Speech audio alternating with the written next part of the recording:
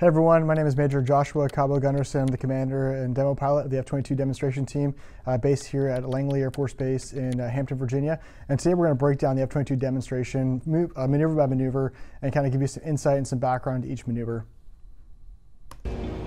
So setting the stage as we roll through this, we're uh, flying this recording in Singapore, uh, which is our first show of the season. As you can see here, obviously a beautiful uh, sky, beautiful water, a really unique opportunity for us to go out to a foreign country and kick off the season that way. The first maneuver you're going to see here is a vertical pull uh, with the jet going all the way up to 90 degrees nose high. We're pulling out five or so G's in this one, um, and you can see the jet uh, climbs really well, even heavy weight on takeoff. We'll finish it up with this over-the-top maneuver, um, and it's a high alpha loop. So as we're doing that, we're probably dropping all the way down to 100 knots of airspeed or less, uh, probably even less than that, as we're using the flight controls and the vectored thrust to pivot the aircraft uh, in the sky and then flip over the top. As we finish this maneuver, we're going to point straight down to the ground uh, and then look to start a uh, aileron roll uh, and then position away from the crowd.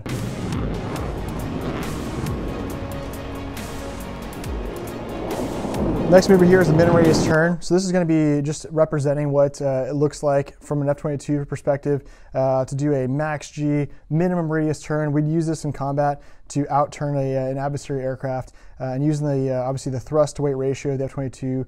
Uh, when we take off, we actually have more thrust than we weigh on the ground. So our ability to turn really quickly and really tightly is is pretty much unmatched across the the fighter community.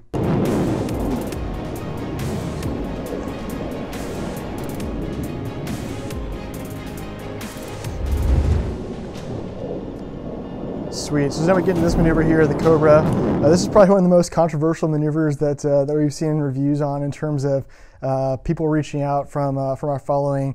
And the Cobra maneuver uh, is defined in our in our regulations, so that's what the maneuver is uh, named. And um, one of the biggest things we've noticed is that people will compare this to a flanker uh, Cobra maneuver. Uh, if you ever watch a flanker do the Cobra maneuver, the uh, airplane's basically going to stop, lose all of its energy, point its nose backwards, then flop over and then fall out of the sky. Uh, the F-22, we have the ability to basically take our nose and go behind the tail. So we're actually going to put our nose behind the tails, and then we're going to power out of it and climb pure vertical here. So instead of just falling over, then falling towards the ground, we're actually using our thrust to continue climbing the vertical for the next maneuver. This is probably about a uh, minus one and a half G push uh, or so to get back to wings level. And the next maneuver here, you're going to see here is a uh, J-turn reposition is what we call it. It's actually uh, called the Herbst maneuver. That's how it was actually defined initially. Uh, and it's basically for any kind of uh, jet that has a, uh, a uh, post-stall maneuvering ability. So our jet with the flight controls uh, and the, in the uh, thrust vectoring has the ability to continue to fly and maneuver the aircraft. Actually, actually not really flying, but um, still maneuver the aircraft, complete control, even when it's post-stall. So the aircraft is no longer producing effective lift to fly the airplane anymore, but it's still going to pivot around a piece of sky, uh, as you're seeing here in the J-turn reposition. We'll get down to like 20, 25 knots in that one, is pretty cool. Uh, the next maneuver there is the weapons bay door pass. You can see we have uh, two main weapons bays. They're going to carry the AMRAAMs or any complement of the bombs. And then on the side of weapons bays, we have uh, side storage for the AIM-9s, the heat-seeking missiles that we carry as well.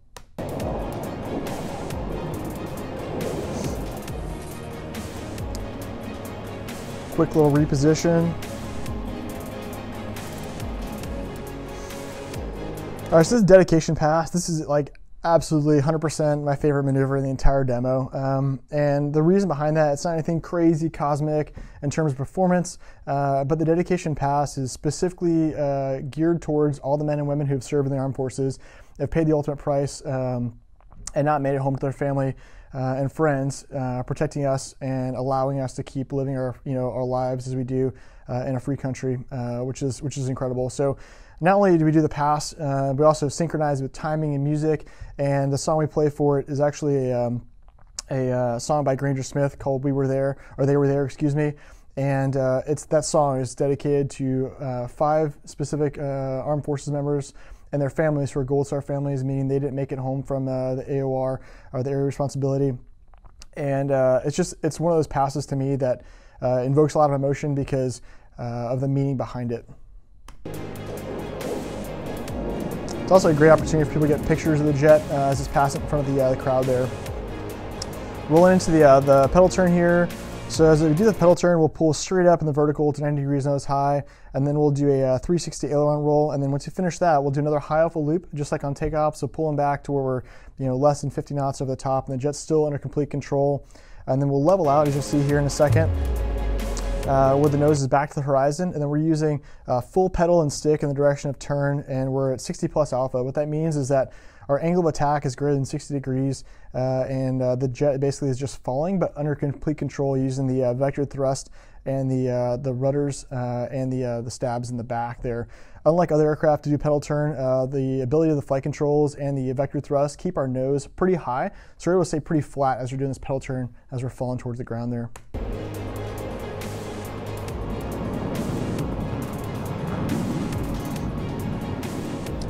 This one's pretty awesome, the, uh, the power loop. So this is where we're really maximizing and, and, capitalizing on that vector thrust capability here. So we'll start this maneuver about 1,500 feet uh, above the ground. And then as we top out at the very top of that loop, we're at 3,000 feet. So we've actually doubled our altitude there and the jet will then at the top basically flip around one piece of sky using the vector thrust capability of the aircraft and then get back to level flight uh, as we roll in for the, uh, the loaded roll uh, next. This is probably the maneuver that showcases the vector thrust capabilities of the aircraft and just the raw power of the jet, uh, unlike any other maneuver we do.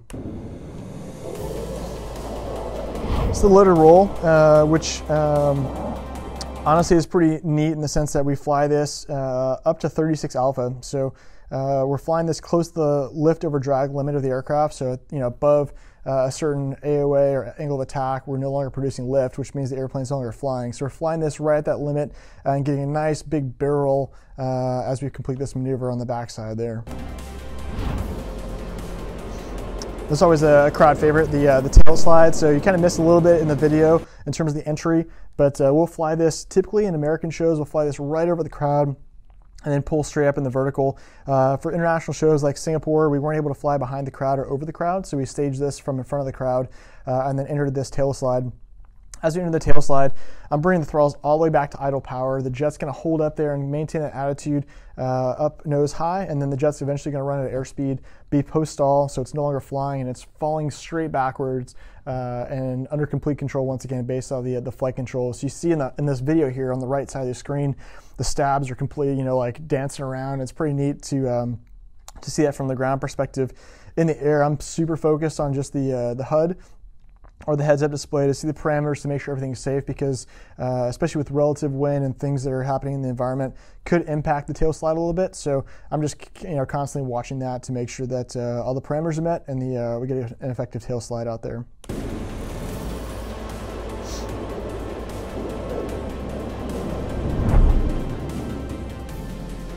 All right slow speed pass uh, down to 75 knots, which is really slow. When you think about a you know 60 plus thousand pound airplane going that slow it's pretty crazy. Uh, then we'll power out of that. So once again, from 75 knots, using all the uh, 70,000 pounds of thrust the airplane, airplane uh, has to power straight up in the vertical uh, and climb up for a split S reposition. I'm doing about 45 degrees now nose high out of that and climbing max AB. And then we're looking for 4,000 feet and 200 knots uh, for our target parameters to complete that split S maneuver. As we come out of the vertical, we're looking to set up for the high speed pass. Uh, which is going to be all the way up to 0.94 Mach, uh, shooting about 600 knots or so, um, which is uh, below the speed of sound there. Speed of sound is about 621 uh, at sea level, depending on uh, some you know, atmospheric environmental considerations, but just below the speed of sound. And then looking to climb straight in the vertical, showing just the acceleration piece of the Raptor. and to be quite honest, this jet accelerates unlike any other airplane in the world. Um, I mean, going from 350 knots to 600 knots happens pretty quickly. Um, so uh, we started climbing there in the vertical to uh, to start slowing down the airspeed a little bit to uh, maintain that uh, control of the aircraft. This is the uh, Hoover pitch. So the maneuver itself is dedicated to Bob Hoover, who is an absolute legend in aviation uh, history, especially in airshow history across the United States. And uh, this maneuver is a knife edge separated by an inverted tuck, and then another knife edge separated by another inverted tuck on the backside. So it's a pretty neat maneuver, and uh, this is like the last maneuver we do at the airshow. And as you can imagine, with a lower and lower fuel weight as you burn gas, you can definitely get to a lot of G's on this backside because the jet's accelerating. You're in max AB, it's very light. Um, and I've probably hit the most G's in any demo uh, in this maneuver specifically.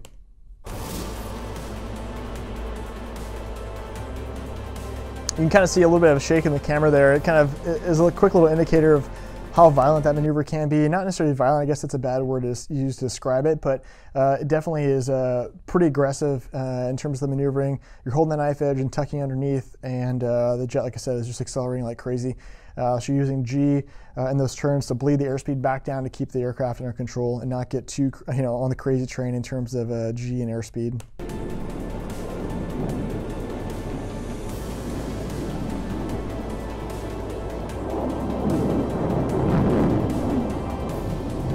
try to line this maneuver up so that way you see the afterburners right on the crowd center so people can see that, which is a pretty neat perspective for people to see, especially when those things are lighting right in front of them.